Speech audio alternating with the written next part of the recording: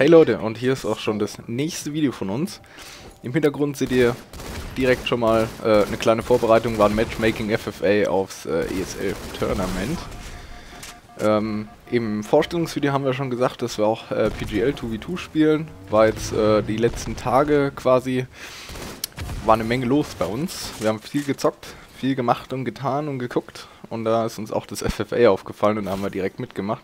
Lief jetzt nicht so grandios für uns, einmal richtig krasse Connection-Probleme und ähm, ja, ich war einfach zu schwach. Muss man ganz klipp und klar sagen, aber wir sind ja noch auf dem Weg, wir trainieren ganz hart und das denke ich mal wird schon. Wir wollen ja auch eine Menge ESL und PGL spielen, dann letztendlich die ganzen Cups und so weiter. Ja, ist auch eigentlich schon quasi unser erstes Thema. Die ESL und die PGL. So, ist äh, in meinen Augen relativ leer geworden im Vergleich zu Halo 3. Früher haben wir auch Liga gespielt, da war die ja auch noch in Game Battles mit dabei. Da gab es ganz, ganz viele Teams. Da konnte man quasi um jede Uhrzeit immer was finden. Und ähm, ist heute einfach leider nicht mehr so. Und ich weiß nicht warum. Ich finde es echt schade, muss ich wirklich sagen. Ja, ist uns auch in den, in den letzten Matches, die wir gespielt haben, in den Ligen auch äh, echt, echt extrem aufgefallen, auch im Matchmaking. Ähm, klar, im Matchmaking soll es ja Dedicated Server geben. Das heißt, jeder hat eine Verbindung zum Server, der Server macht einen, quasi einen Netzwerkausgleich und ähm, alles soll so geschmeidig wie möglich beim anderen ankommen.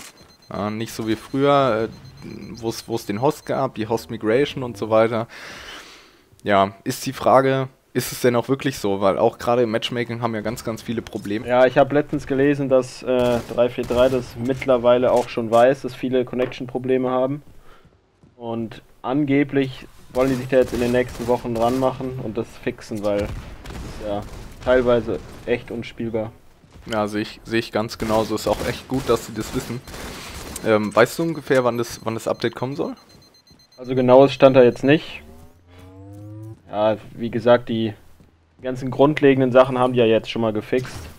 Ich denke mal, dass das jetzt so bald das nächste sein wird, wo die sich ranmachen. Ja, bei uns war es auf jeden Fall so in den, in den, ähm, äh, in den Custom-Matches, in der PGL zum Beispiel, wir müssen ja oft gegen Amerikaner spielen.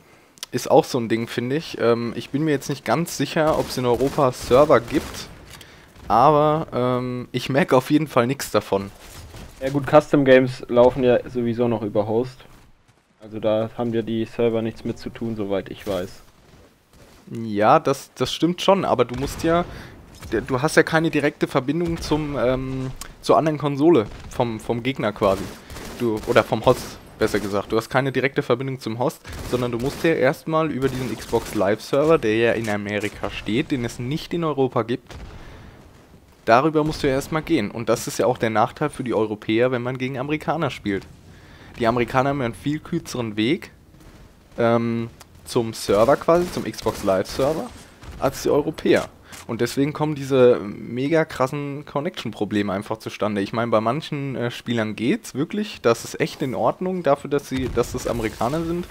Ähm, aber dann gibt es dann natürlich auch wieder die Kehrseite bei denen es einfach überhaupt nicht läuft, wo kein Schuss connected und nichts passiert.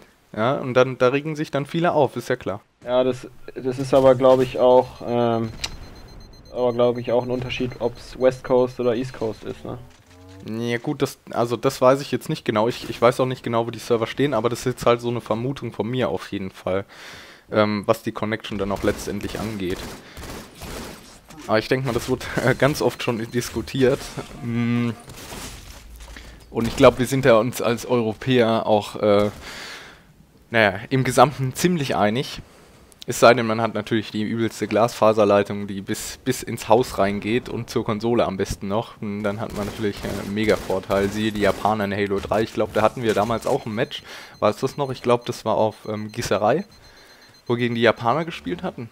Ja, das ist mit das Schlimmste, was man erwischen kann. Schlimmer wie Mexikaner und... Und Holländer. Holländer. Holländer habe ich auch noch ganz stark in Erinnerung, die Holländer. Ich weiß nicht, woran das lag, aber es waren die Holländer. Ja, eigentlich macht das gar keinen Sinn. Es macht echt keinen Sinn, weil ich meine, es sind ja Nachbarn. naja. Ja, eben. Ja, das sind also die Custom-Matches in den Ligen. Und ähm, ja, wie wir eben schon gesagt haben, ich meine, den Großteil haben die jetzt schon gefixt. Ähm, allerdings auch jetzt auch wieder in den Custom-Matches in der PGL komplette Abstürze vom Spiel. Ja? Ähm, man konnte nicht äh, in die Lobby joinen. Man, man ist rausgeflogen. Die Teams können nicht gewechselt werden. Lauter so Sachen. Das ist, es ist mir einfach ein Rätsel, wie, wie 343 da sowas hat machen können.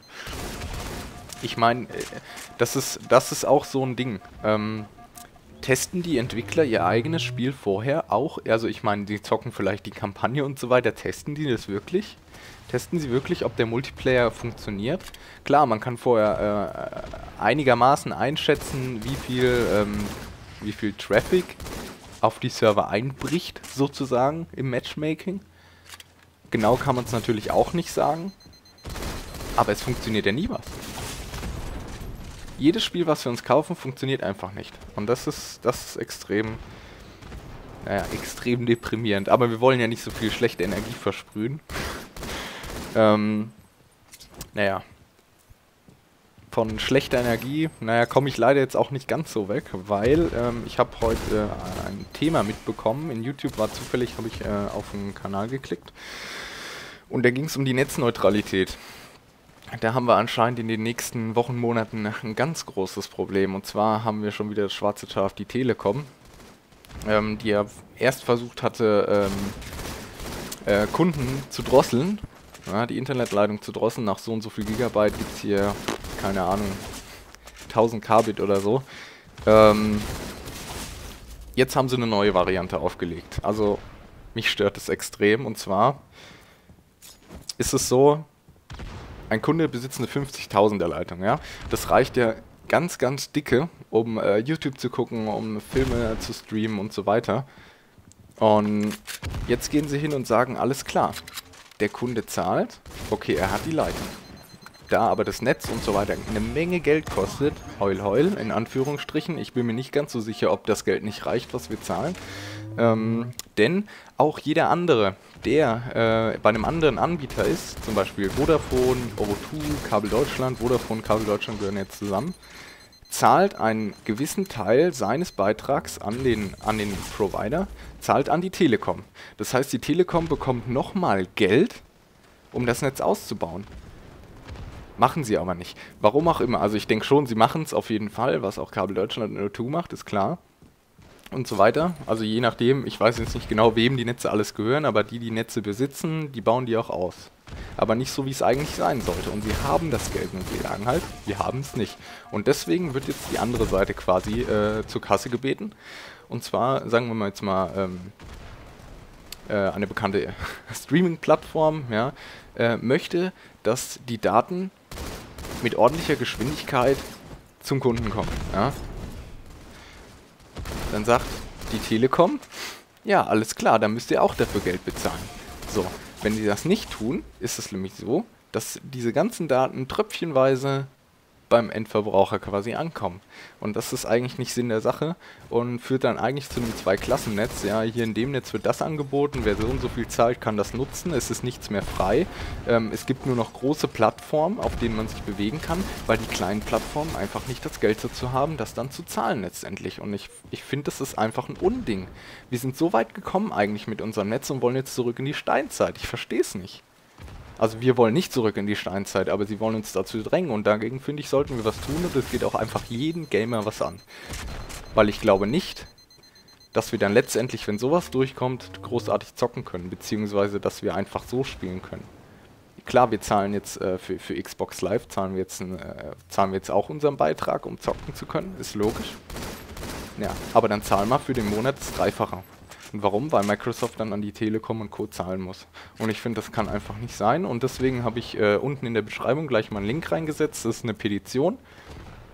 Ähm, da könnt ihr dann äh, mit eurem Namen, das kann auch eine Fake-E-Mail-Adresse sein, das muss nicht der echte Name sein, da könnt ihr dann unterschreiben quasi, äh, digital logischerweise. Und ähm, könnt einfach was dagegen tun. Nur wer nichts macht, kriegt auch nichts. Ja? So, und das ist jetzt eigentlich so quasi Schlusswort. Ich hoffe, euch hat das Video gefallen, auch wenn wir ein bisschen abgeschissen haben, aber jetzt habe ich mir meinen Frust von der Seele geredet. Ihr könnt gerne alles kommentieren, was wir gerade gesagt haben, ist gar kein Problem. Ähm, Anregungen, vielleicht irgendwas, was ihr sehen wollt und so weiter, könnt ihr alles in die Kommentare schreiben und ich hoffe, ihr schaltet wieder beim nächsten Video ein. Bis denn!